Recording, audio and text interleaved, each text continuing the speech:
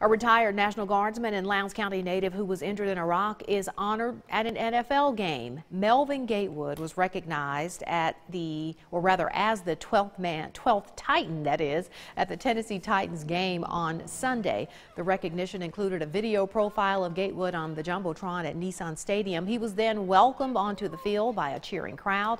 Gatewood enlisted in the National Guard after graduating from West Lowndes High School in 2003.